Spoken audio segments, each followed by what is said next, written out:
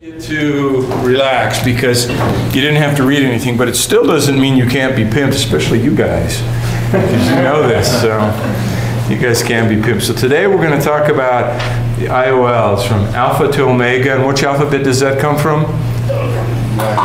From the Greek, of course. All right. So we're going to go back to Barcelona since I think I'm going to run out of Barcelona pictures before I run out of lectures this year. I may make you look at puppy pictures, but I don't know. We'll have to decide that. So you're a captive audience, so we'll have to decide. So this is back to the cathedral again that they're redoing in Barcelona, the old cathedral. And it is, it's pretty amazing. They've, they've kind of redone the, um, the inside, and I mean, it's, it's the ultimate high Renaissance cathedral. And so just e- incredibly elaborate icons and, and statues and just very vibrant very exciting. So They could just sell that off and be out of debt. yeah, seriously, this would like bring Spain's unemployment uh, below 20 percent. They would just use this on a public work project. But I mean, it's just the the detail on some of these are fantastic. You get in there and you look at it and you go, wow. And I mean, through the years, the colors have faded and, and they're working to try to kind of restore some of the colors, but it's a difficult task. But you could imagine these in their, in their glory. You see the robes on the king there are, you know, were red. And so it's, it's really pretty amazing when you look at them. And it's that way through the entire one. There's, you know, it's a typical uh, Catholic cathedral, and there's little, you know, alcoves all the way around the whole thing. That each one of them is as elaborate as the one before. And so I just picked a few of them and took pictures, and they're just they're just fantastic. The problem is, is this is just an old dark um, one, and they're trying to, as I said, to revise it, but it's still kind of dark and you know grungy inside. They're, they're doing their best, although this probably all shut down five years ago. So.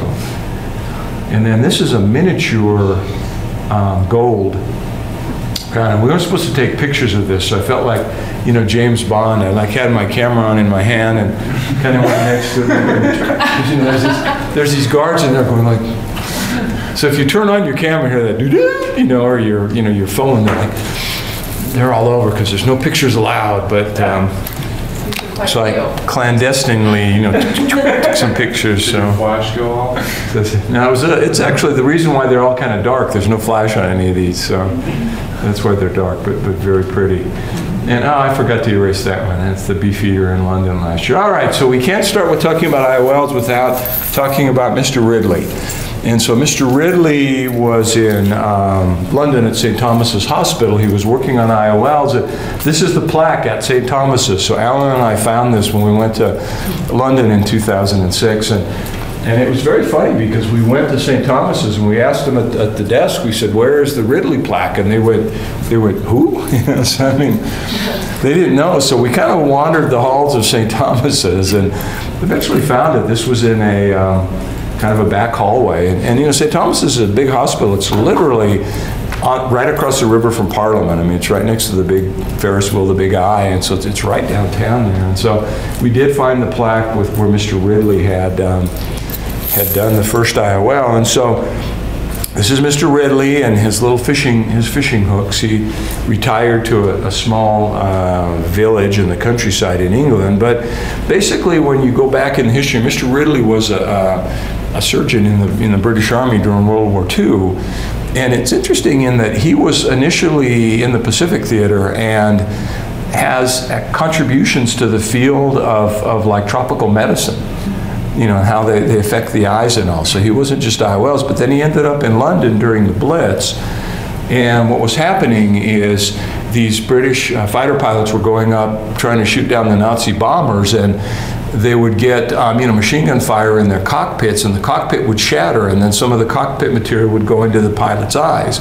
Well, this material was actually made of plexiglass, which is PMMA. And so very fortuitous thing. And so Mr. Ridley found that it didn't cause any inflammation. It was very inert inside the eye. And, you know, at this time people were doing um, either crude extra caps or intracapsular surgery and then patients were getting aphakic spectacles. And so what happened was is that a rumor has it i don't know i've never talked to mr ridley to see if this was true because he's passed away since but that a student said well you're taking out the lens why don't you put in another one? And so that just may be legend but in any event he started figuring out that you know aphakia is not a great way of, of treating people. And Randy Olson will tell you the story. When he was first training, they were still doing intracaps without IOLs, and he was very proud of himself. He did the surgery at UCLA, and you know the patient ended up 2015, you know, with like a plus 10 um, spectacle, and, and, he was patting himself on the back, and the patient basically said, "Can you put my cataract back?"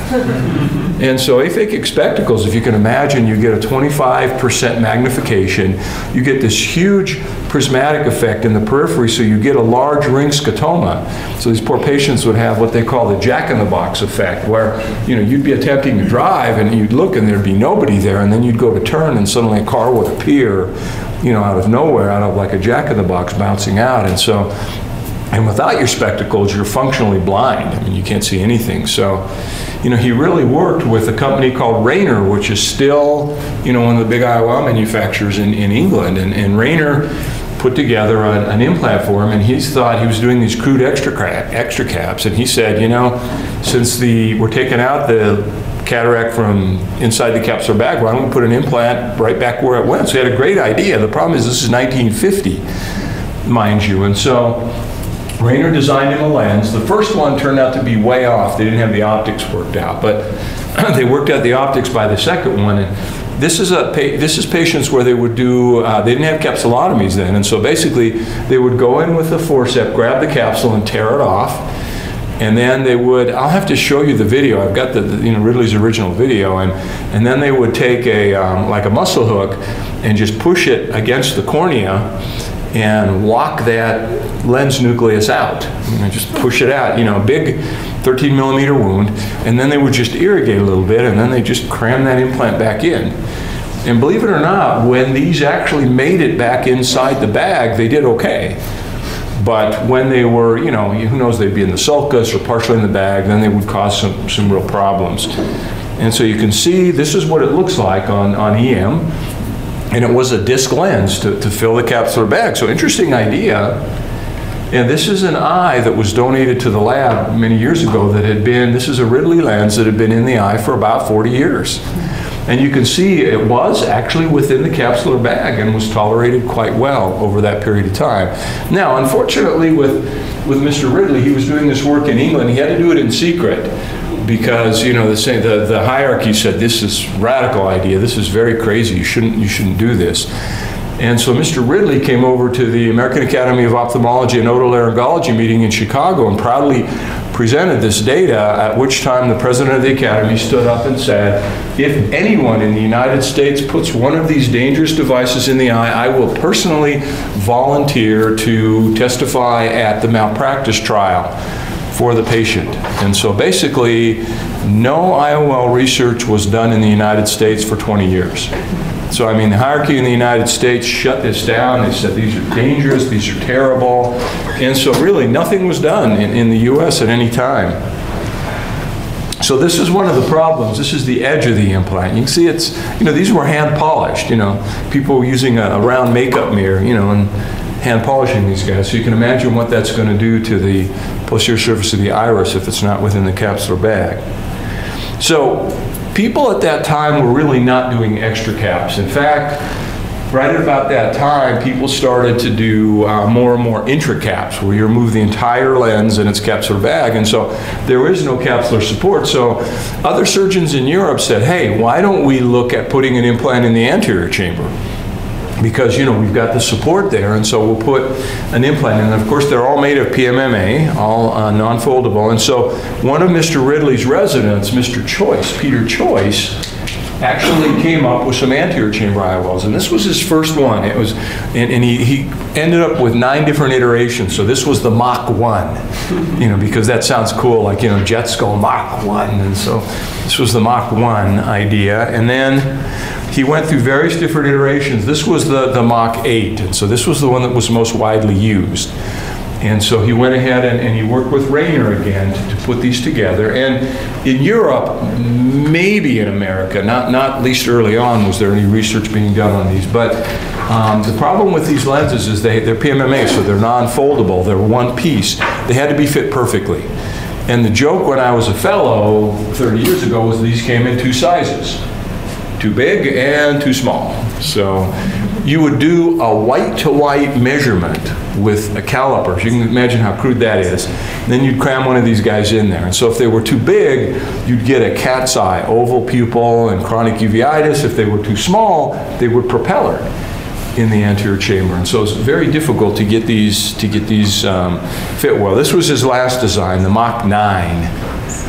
And so just a little bit thinner. Now, one of the problems with lenses like this is they would scrape the iris, you'd get the bleeding in there, hyphema, you'd get chronic uveitis, you'd get glaucoma. And so the, the syndrome was called UGH, uveitis glaucoma hyphema syndrome. We still talk about it now.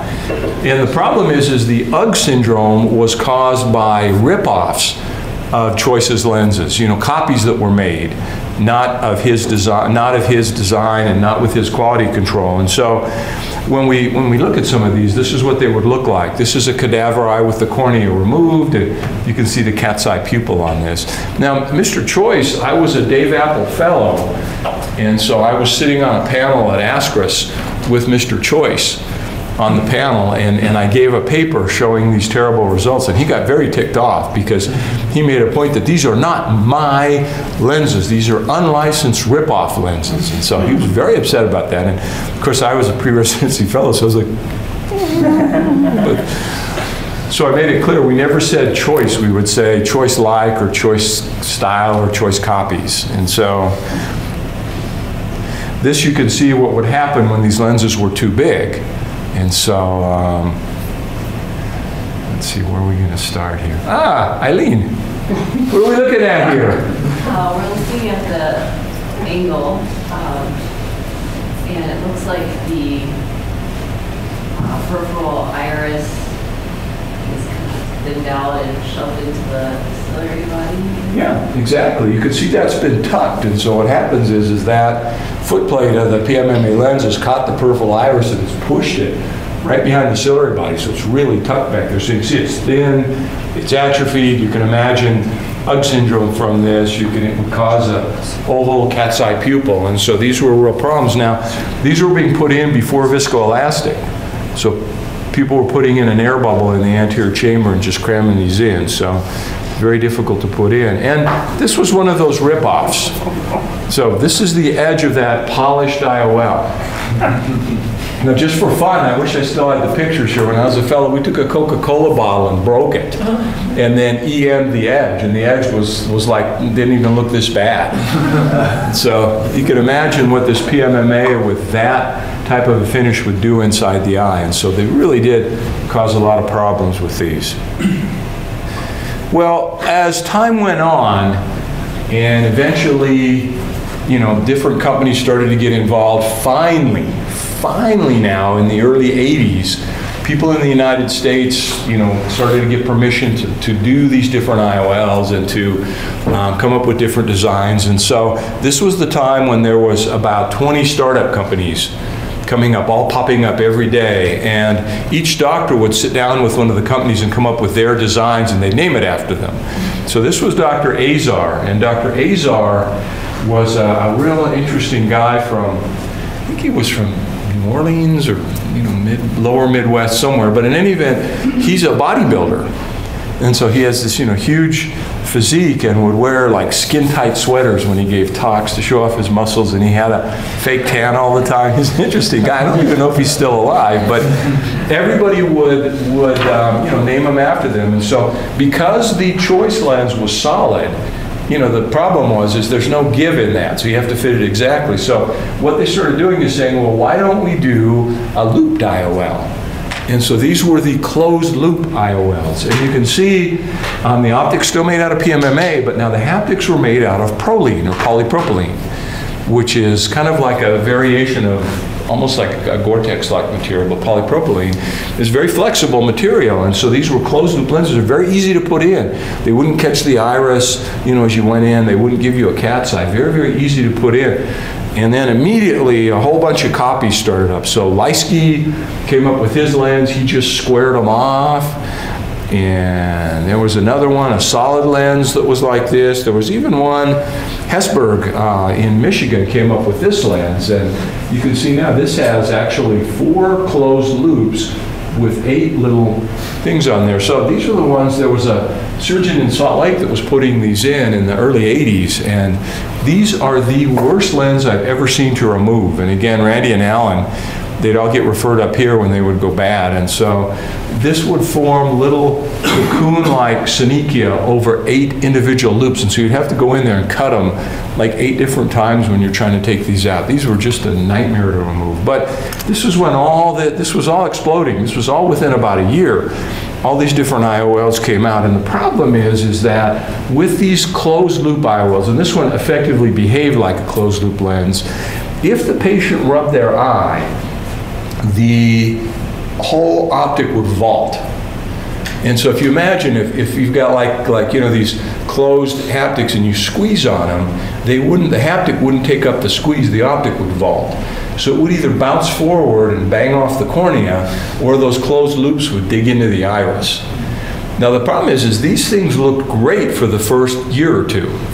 So these looked really good. And so when I was a fellow, there was a surgeon in town who founded the Eye Institute who was advertising all over the TV. That was the first main advertising. Was putting in these miracle lenses and he had zero complications. And he would give a lecture, I'm having no complications. These are the greatest thing. And as he's saying that, I have, you know, 12 corneas in jars on my desk with these IOLs in them, you know, that we had to remove. Well, of course, if someone has a complication, they don't go back to the original doctor, they go to somebody else. And so this kept the cornea surgeons at Moran busy, the Azar lens, for at least a decade, you know, fixing corneas from those. And so this is one of the lenses, this was the Hessburg lens. If you can see, that's actually well focused. And so the reason why you don't see well there, the cornea is edematous. So you've got corneal edema. The eye is red and inflamed, so you've got chronic UGH syndrome. And again, these are real buggers to remove. All right, so Kostas, what is this we're looking at? Uh, could be like a half IOL. Believe it or not, this is one of those corneas that was on the jar in my lab. This was half of a corneal button. That's how thick they would get. So this is a totally edematous corneal button. And so you get corneal edema from these IOLs. And then the other thing is this is the Leiske lens. Look at, this is a cadaver eye. We've removed the cornea. We're looking in as if we have a goniomirror on here. Look at the synechial tunnel in the periphery. And so they would form these synechia around these round loops. And this would cause them to just fixate in this. So you'd get glaucoma from this. But these are a bugger to remove. So when you would explant these, you would actually have to cut the haptics and just leave them in the angle, just cut them and, and then take them out. Because you would, if you went to pull that, you'd get an iridodialysis. So it would be, these are just, just terrible to remove. And this is what one of these loops looks like. This is again the, the iris root, and here's that IOL loop. I mean, it would dig in almost to the ciliary body. In fact, the first IOL that was ever seen here when I was a student, IOL number one, we're up to, what are we up to now? Six, 7,000. IOL number one was a looped antechamber IOL and it dug all the way through the root of the iris to the major iris circle and then blocked it off and the patient had ischemia and lost the eye. So that was IOL number one. So it's interesting. And so these could cause some real problems. This is one of those uh, other lenses with the eight loops on it. And you can imagine what it would. Look, there's big peripheral iridectomies. These would rotate into the iridectomies. And so these would just form a total synechial tunnel. So these were just awful to remove. These would have, you'd have to cut them in eight different places to remove these. So they were very tough. So there was a guy named Dubroff in uh, Washington, D.C., who said, well, if, if the closed loop lenses are difficult, you know, and they're causing vaulting and all, why don't we put an open loop on them? So what he did is he put three C-shaped loops on his IOL like propeller blades. Now, if you can imagine these broad C-shaped loops, you would actually get synechia that would close off about 270 degrees of the angle, and they'd get severe glaucoma. Second thing is this was a fly-by-night company that very much did not polish these well, didn't have good quality control, so these patients would get chronic UGH syndrome. Um, again, there was a surgeon in town here who insisted on putting these in even until the late 80s. And so he kept putting these in, and we kept putting these out, and, and the surgeon has since passed away, but as Dr. Crandall said, he was the leading cause of, of preventable blindness in Utah. And he was still doing intracaps in the late 80s when people were starting to even do phaco, let alone extracaps. So he'd do an intracap and he'd put these guys in. And so, again, these kept our anterior segment surgeons busy for a decade. This was the Dubroff lens. And you can see what these would look like. Again, chronic edema, red inflamed eye, lots of inflammation. And Nick, what are we looking at here? Um, Corneum with some edema. Yeah, so you see a, what do we call this? A bulla. So you see bullous keratopathy. So they would cause bullous keratopathy.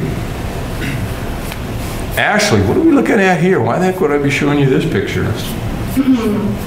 This is a retina. Oh boy, chances to pimp here. See, you guys thought you were free. what part of the retina are we in? How the heck can I tell that by looking at this picture?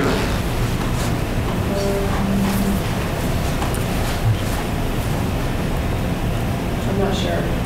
I'm sorry, I got a Star Wars printer, I mean, a Star Wars pointer for, for Christmas, and I forgot it. It's up in my hmm. briefcase. So if you look at the top layer, the ganglion cell layer, you see instead of being one cell layer thick, it's multiple cell layers thick. So we know we are in the macula. Oh, okay. And then if you're looking, and we're going to know these two lectures from now, you're going to know these layers cold. You can see that there's some exudate in the outer plexiform layer of the macula in so-called Henle's layer. So this is cystoid macular edema. And so with chronic UG syndrome, chronic inflammation, you can get corneal edema, bullous keratopathy. You can also get chronic CME, cystoid macular edema. All right, so Charles Kelman, who was the inventor of the phaco machine, Kelman said, well, you know, if these closed loop IOLs are causing these problems, why don't we get an open loop IOL? And so this was his first attempt at it. We used to call this the pregnant seven. So if you look at it, it's like a seven that's pregnant, you know, so the pregnant seven. The problem with this is it's a stiff, again, PMMA, and so you would put these in, it was very awkward to put in. And so Kelman being a smart guy, you know, this was out on the market for like a day before Kelman figured out it's not going to work. So he thinned out the haptics, again, still a one-piece PMA, but he left the tripod design in there. Now, it was interesting because Kelman would go around to, to lectures and give lectures, and he said a tripod with three-point fixation is better than four-point fixation because if you have a bar stool on an uneven floor and it has three legs, it, it stays fine. If it has four legs, it wobbles. That was his argument. And so, again, this lasted for maybe a week. And then people realized that this still wasn't the best idea. So again, Kelman went right back to the drawing board and he came out with his multiflex. Now, does this look familiar? It should, because now 32 years later, this is the anterior chamber IOL that we use to this day. And so very smart idea. It's an open loop. So think about open loop, like the leaf springs on a truck. You know, them big trucks, the guys from Wyoming drive, you know, the big leaf springs on them. So if you compress that, the haptics take the compression and the optic doesn't vault. So one of my fellow fellows actually did a study. We put it between two vices and measured the, how far it would vault when you do it. And the open loops wouldn't vault nearly as much as the closed loops. And so this would not vault. Now, instead of a round loop, these are almost flatter. So they're kind of rectangular in shape and flatter. So these would not dig into the angle. And the other smart thing Kelman did is if you look, it's not convex, it's concave. And so when you look, those round loops wouldn't close off in the angle. You would basically just have four points that would touch the angle. And so this is the lens we use to this day. And so very rapidly evolved. You know, this was this was 1984 that these first came out. And so those have stood the test of time. Those are still the anterior chamber IOL we use now. If you're going to pull one out, this is the one you use. This is the old Apple Core. And this is how we did work. Look, I don't know who that guy with the mustache is there in the corner, but we would lay out all of the pictures that we had taken, all these EMs, and then Dave Apple would dictate his chapter, and we would all sit in there and put in stuff. And we were holding that up, that one that says IOL. that was the, the precursor to the Ocular Surgery News because we were on the cover there. And so we, um, you know, we were holding that up there to say, ha ha, see, we're on there when we took this picture. So some of these other people, the woman in there is now a glaucoma person at Ochsner in New Orleans. The, the guy with the white coat went into Las Vegas and had a very busy practice down there and sadly was riding a four-wheeler and flipped and broke his neck. And so he's now quadriplegic, which is very, very, very sad. And the other student, I don't know what happened to him. I I lost track of him, sorry. But this is the so-called Apple Core. And so this was how we would do IOL work. All right, now, I would be remiss if I didn't talk a little bit about iris clipped IOLs, because again, when people were developing all these anterior chamber IOLs, there's big groups in Europe mainly saying, okay, if we're still doing intracaps here, why don't we come up with a- an implant that clips to the iris? And so this was one of the original uh, Binkhorst. So Cornelius Binkhorst was in the, uh, the Netherlands, and he came up with these. And interestingly enough, the Binkhorst lecture at ASCRS is the named lecture, now named after Binkhorst. So that's the big lecture every year at, at ASCRS. And so Binkhorst came up, and you can't see these, I'll show you a side view. Two of those loops come out planar with the optic, and then two of them go down and then back. So basically, you clip this to the pupil. So this was iris fixated lenses. Now, um, Jan Worst, who just passed away recently, actually, um, said, well, you know, the problem with these lenses is if you dilate the pupil to look at their peripheral retina, the IOL falls out. So, minor detail, you know, it kind of dislocates into the vitreous or the anterior chamber. So, what Worst said is, first of all, we can put sutures through there and suture to the iris. So those holes are where you would put a big suture through that are suture to the iris, but then people didn't like to do that, so again, he put a little clip on there. So you had this little tab that would clip it to the iris. And so we used to joke that this was indeed the worst lens, and, and that was the, the inside joke, because these behave very badly in the eye. But again, Jan Worst was, was a giant in, in IOLs, and it said he just passed away. And so he had to be in his 90s when he passed away. Now, the problem is a lot of these haptics were made out of polypropylene, Prolene, which does degrade in the body when it's in touch with uveal tissue. So this was one of the first EMs that was ever done. Some, you know, again, swarmy Greek guy with a mustache wrote this paper up. And what we saw is the so-called mud flap cracking. And so when you had these Prolene loops in uveal vascularized tissue, they would degrade on the surface, like when it rains and then it dries out and you get the mud flap, you know, mud flap cracking. This picture looks familiar because right now, if you take a Prolene suture, you can actually get degradation of Prolene, just like this, of the suture. So if you suturing an IOL to the sulcus or to the iris and you use a 10-0 Prolene, it will degrade like this. The reason I'm saying that is Walter Stark from Wilmer says that doesn't occur. It's all mechanical trauma scraping on these, so it's okay to use 10 sutures in spite of the fact that I've shown him, you know, 30 pictures like this. He still doesn't believe me. So don't use just 10 Prolene sutures if you're going to be suturing in an IOL. Use at least 9 that is, that is much bigger, or even Gore-Tex. But this is actually a Prolene haptic, and so these would break down also. Now, because of that, uh, you know, one company said, well, hey, let's do something that doesn't degrade at all. Let's make this loop out of titanium. This was, again, one of those companies that lasted for about a day because titanium is really heavy. And so you would put these things in there and they would just sink. I mean, they were really heavy. And, and, and now, I mean, there were no MRIs then, but can you imagine if you had a titanium looped IOL and you went into the MRI scanner? That would cause some real problems. And so the titanium lasted, again, about a millisecond before that was taken off the market. So this is what one of the, the worst lenses would look like. You can actually see the positioning holes, you know, there and there with that, the suture that broke. And so the suture broke there, and then here's the little tab, try and hold it in. You've got synechia, you've got inflammation, and so these really would beat up the iris. And then this is what one of the loops would look like on EM when it was removed. This is actually iris tissue adherent to it. And so the iris would get very adherent to it.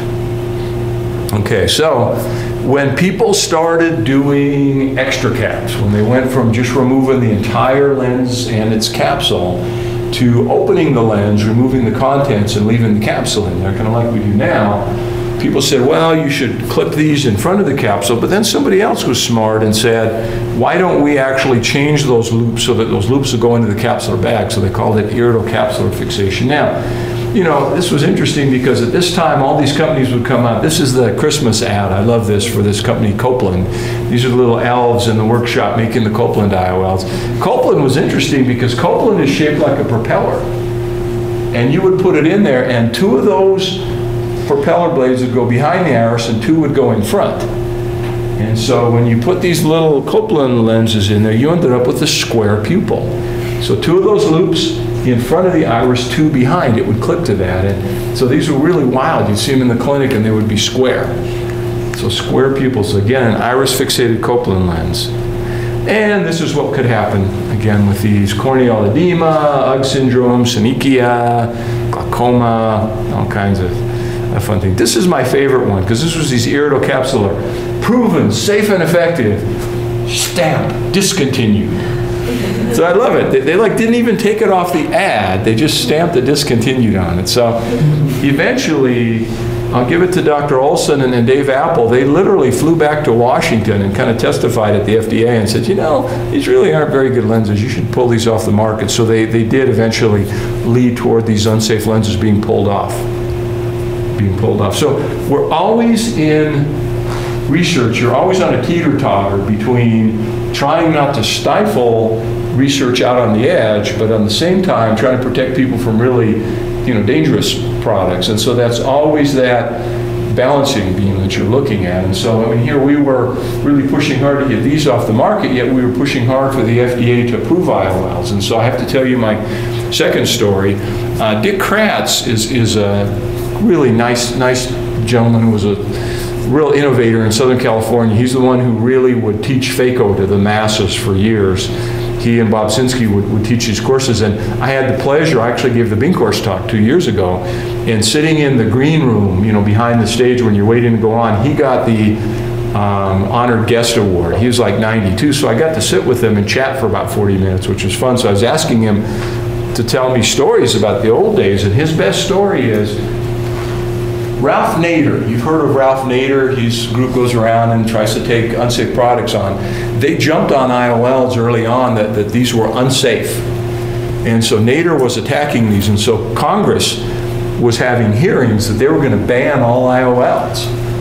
And so at that time, Dick Kratz's, um, one of his most famous patients we put an IOL was a guy named Robert Young. And that means nothing to you guys, but in the days when there were only three TV networks and everybody watched TV at night, I mean, 50 million people would watch a single show. And the most popular show in America was Marcus Welby, MD. And he was this MD who had a private office who would take care of patients in the hospital. He'd go to their house. He would take care of maybe one patient a day because he would spend all day doing that. And he was the most trusted man in America, more trusted than Walter Cronkite. And so the actor who played him had an IOL put in, and it resurrected his career. And so Dick Kratz went and testified in front of Congress, you know, to refute these Nader's Raiders contentions. Nobody paid any attention. And then Dr. Welby got up and testified. Again, the most trusted man in America. And he said, This is a miracle. This saved my career. And so immediately the press jumped all over it. And there was this huge press conference. And so the Congress could really not shut down IOLs, nor could the FDA because of all this press. And so they did set up a study to, quote, study IOLs and their complications, but it allowed us to, to go on and keep using IOLs. So when I was a resident, you would have to be a, quote, study participant in order to put an IOL in. And so there were about 13 different companies making IOLs at that time in the US. And so the first day of residency, you filled out 13 IOL investigator forms, and then you'd be an investigator, and then you could put in the IOLs. So Dr. Welby, you know, kept IOLs from being shut down. Uh, would they test the IOLs in animals first? Yeah, they would. I mean, they would do the standard things they did, but again, you know, uh, rational science sometimes doesn't have anything to do with decisions that are made at a bureaucratic level. So, Well, the thing about some of the IOLs is they would look really good early, even in the early human studies. They would look good for the first two years. It would only be later that the complications would show up. So that's why I love this proven safe and effective, discontinued. So. So, we make the swing from the original posterior chamber IOL of Ridley to anterior chamber IOL to iris fixated IOLs. Slowly but surely in the late 70s and early 80s, as surgical techniques evolved, people started going from intracaps to extracaps. So when you do an extracap surgery, you remove the uh, hard lens nucleus, you'd suction out the cortex, but you'd still have an intact capsular bag. And so a smart surgeon named, named Shearing decided, well, you know, if we're going to have that intact bag, why don't we go back to the posterior chamber, like, like Ridley said. So this was the original posterior chamber. Now, interestingly, Shearing was a guy in Las Vegas who nobody knew who he was. He did this implant and never did anything else in his entire life, and so he, but he was smart enough to figure this out. So ophthalmologists tend to be very innovative people. As soon as somebody saw this, I mean, there was an explosion of innovation. I mean, we're talking within months, people were tinkering with this design. Now, if you look at this design, the problem is, is those loops come out fairly near the center, and they come out straight like an umbrella handle with a little J on the end of them. So when you put these in the lens capsule, they would tend to really oval the capsule and not fit well. So a guy named Simcoe in, in uh, Oklahoma, again, a guy you've probably not really heard of that much, said, well, why don't we make these loops out of uh, a broad C shape instead of a J shape? So we made these broad C-shaped loops. And this would be the idea is it would center better in the eye. And you can see with those broad C-shaped loops it would, but these were very tough to put in. Again, we didn't have viscoelastics yet. So those little holes are positioning holes. You, you put an air bubble in there and you go in with the Sinskey hook and you know pretend you're putting it in the bag. Who knows where it went? It'd go behind the iris somewhere. And so you put these in. And so uh, Bob Sinskey, who you guys use the Sinskey hook all the time now, who again just passed away. All these old giants in the last couple of years have just passed away. So Bob just died last year. And he came up with a modified J loop. So what he did is he took that loop and moved it off to the side where it came off, where it doesn't come off in the middle, and he put a little modified J in it. This was the IOL that I trained on, and so this was like the ultimate IOL in the mid 1980s. This was the modified J loop Sinskey Sinskey lens, and so this was again Prolene loops though. So three-piece IOL Prolene loops. Now, initially there was an argument about where to put this IOL. And so the argument was, do you put it in the bag or put it in the sulcus? And there was some arguments, again, coming out of Johns Hopkins that said you should put this in the sulcus because you can't be sure if you're going to get it in the bag or not. So again, our lab had to write a major paper that said, no, no, there's advantages to putting it in the bag. And we actually wrote a paper on that. And fortunately, people said, yeah, you're right, we should put it in the bag. And so the idea of putting it in the sulcus you know, faded real quickly. And, and, you know, nowadays we put them all inside the capsular bag where it should be. And so this is why you don't want to put them in the sulcus all the time. This is an, an eye from behind, Miyake Apple view. It's been sectioned. This area right here, you see that little C-shaped transillumination there? That's where the haptic was rubbing against the posterior iris. And so you see that on the other side here, you can kind of see part of the tip of the haptic there. And so if you put them in the sulcus, these lenses were not really designed to go in the sulcus. And so you would get significant problems, pigment dispersion, chronic glaucoma, chronic UGH syndrome. So really put it in the bag. And so this was an IOL that was in the sulcus. You can see again, that loop went all the way back to the root of the iris. And then you can see up above, not only that, you've got a post peripheral anterior synechia. So that iris is stuck to the angle blocking it off. And lastly, you don't have an IOL in the bag, you get a huge Soemmering's ring. A huge Soemmering's ring there. So this is where it should be. It should go into the capsular bag. And so this was a nice capsular bag fixated IOL. And you can see now those modified J loops, still they don't really fit that bag nicely, you still get some ovaling of the bag. And so people did tinker with them, and eventually we came up with a modified C, you know, kind of a short C lip, which again is what we use now. You know, it's a little short C shape rather than the J shape. But you can see once it's in the bag, that's pretty well tolerated pretty well tolerated. And there you can see, this is a picture, that's the posterior iris, that's the ciliary sulcus, ciliary body underneath. IOL loop surrounded by the capsule, very quiet, very well tolerated. All right, so as the technology evolved, so did the way we make IOLs. And so initially, the IOL optic was carved, you know, from a block of PMMA. It was hand polished. The three pieces of the haptics were staked in there. Well, people started coming up with a good technology where you could make them out of a one piece. And this was a, a lathe cut guided by a computer. I mean, this was as good as computers got in the 1980s. And so it would cut it, and then they would tumble polish it. And so I don't know if you guys as kids, or those of you who have kids, put the little rocks in there and you tumble polish them and it'd make the rocks all shiny. It's the same idea. You put a bunch of little beads in a big cylindrical drum with some material in them, it's got aluminum and other stuff, and you tumble these guys in there and it would polish them. And so you'd get these beautifully finished IOLs, these nice one-piece PMMA IOLs. All right, so we can't talk about IOL evolution without talking about evolution of surgical techniques because they go hand in hand. And so this is a case when I was a resident and my um, chief at that time still was doing extra caps. And so your job as a first year resident was to assist the chief, and that's me holding the cornea up. So basically, you would go in and you'd make this big 11 millimeter incision at the limbus you would pre-place sutures because the problem is is when you remove that whole lens, you know, they would get an expulsive sometimes and other things, so you want to have sutures in there to control it. And so my job, you'd leave a tiny flap of some of some um, collagen. And so my job was to pull up the cornea, and then you'd pull up the cornea and you'd go in there with a cryoprobe and so you would first put in alpha chymotrypsin to dissolve the zonulins. I can't imagine, talking about TAS syndrome, what that's going to do to the inside of the eye. You put alpha chymotrypsin in there, it would dissolve the zonulins. Then you take this cryoprobe and you freeze it to the anterior lens capsule. Then you just, just pop that whole thing out of there. And so out it would come, intracap. And so you know, most of the time the vitreous face would stay intact. Most of the time. You wouldn't lose V most of the time.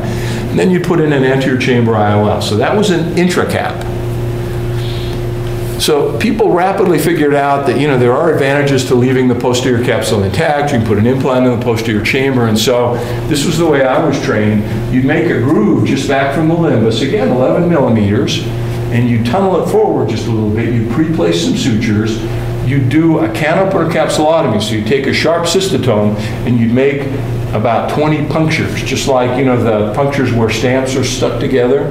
Make a bunch of punctures in there, take out the capsule, and then you would take a, a muscle hook and you push on the limbus inferiorly, and then the lens um, center would pop up, the nucleus, and then you'd slide a loop underneath it and take it out and then you temporarily tie those sutures and you'd go in with a manual IA cannula. It was actually a Simcoe cannula. That's the other thing Simcoe invented. And you'd squirt fluid in with a bulb and you'd suck with a with a, a 10 cc syringe with your other hand and you'd strip out that cortex. And then you'd put in the IOL. Well, okay, so Kelman, again, same Kelman as the Kelman IOL.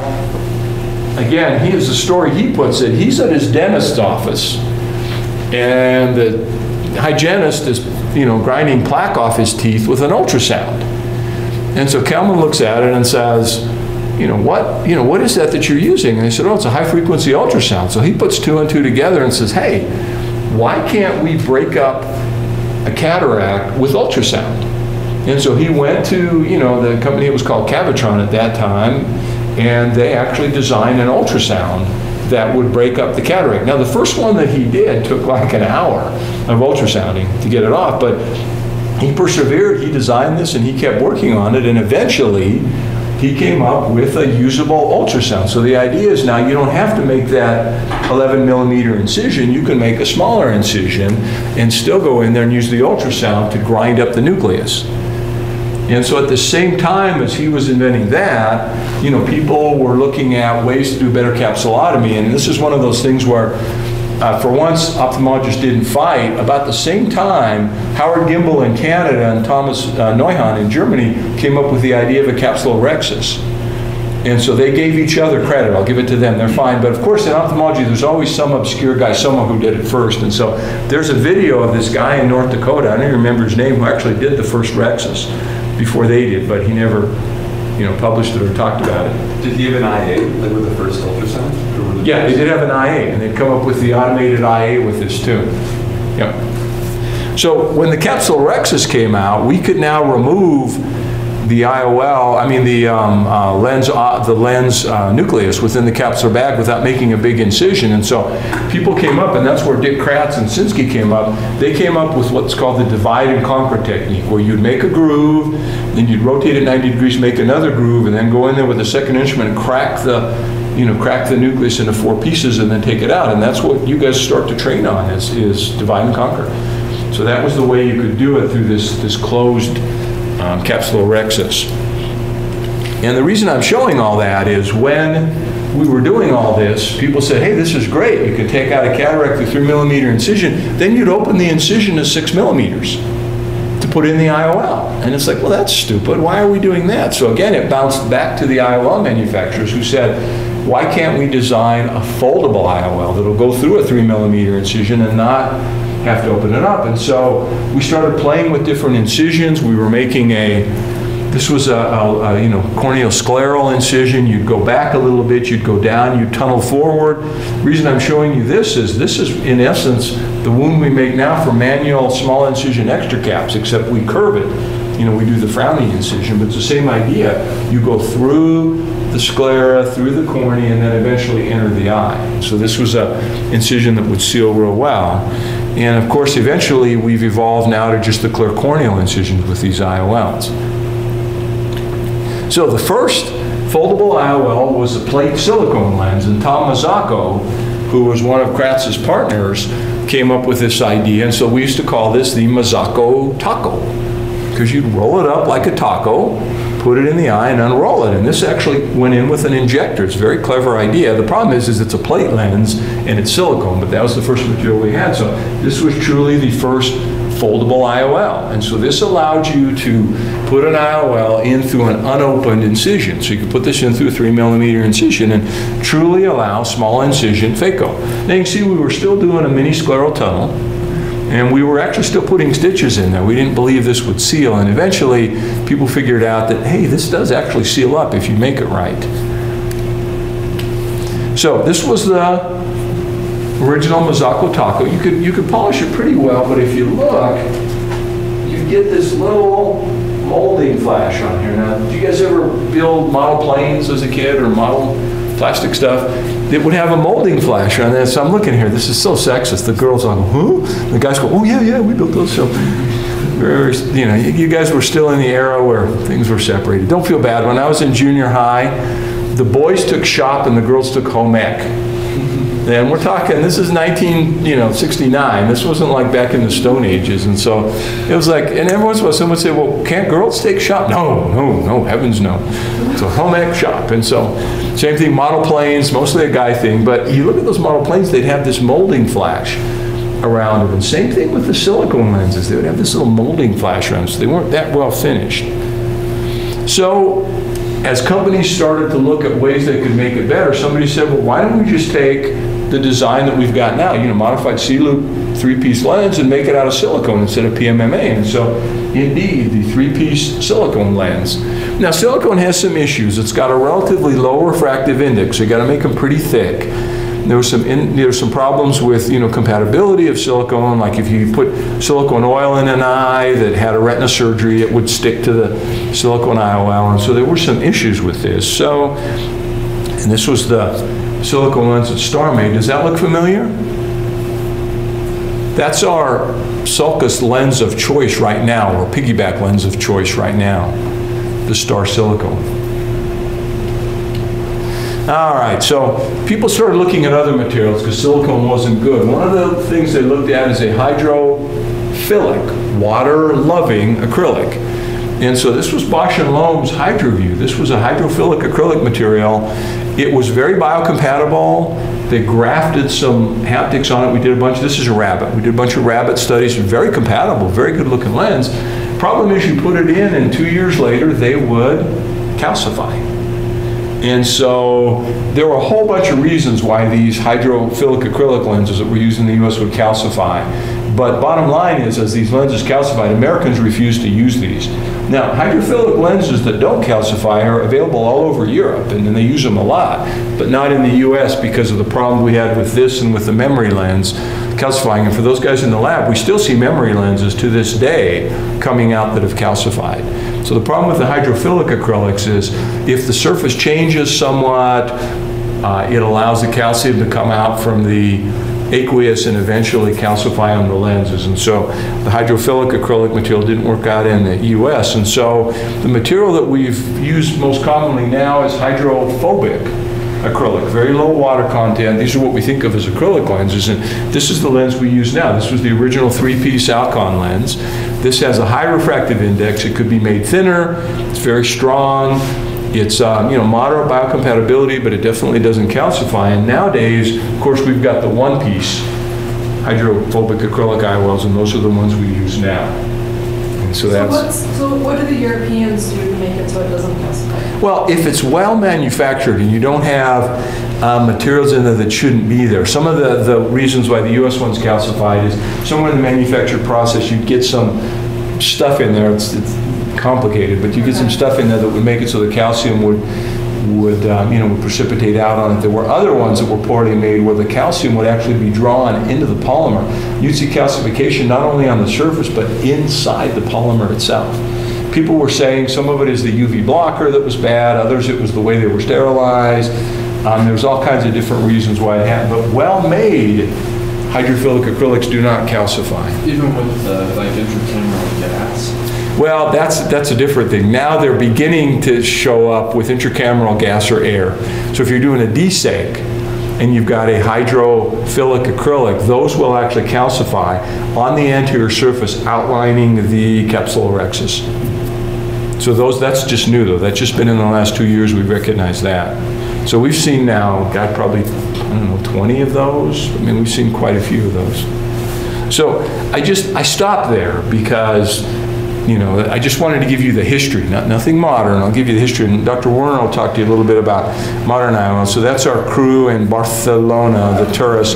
You can see, of course, the shorts and the, the white tennis shoes. You can tell we're just so American. So because you look like an American doing that, I've, I've quit doing that. And so I actually bought some black tennis shoes and wear Levi's now, because then you don't look like an American. Because nobody wears, you know, in Europe, people wear Levi's with black dress shoes. I never figured that out. So I don't, I don't know why that is, but they do. So I hate that because I wear tennis shoes when I'm walking around. So I bought black tennis shoes. So you can't tell. And I wear those with Levi's and I stopped wearing shorts because you're just such an American when you do. So, next time, we're going to do, I believe, glaucoma. Have to look and see what the schedule is. I think it's glaucoma. Glaucoma? Okay, very good. So, please read up on that, because this is your, this was your um, day off. And so glaucoma, know it well for next Tuesday, okay? All right. Thanks, everyone. Thank you.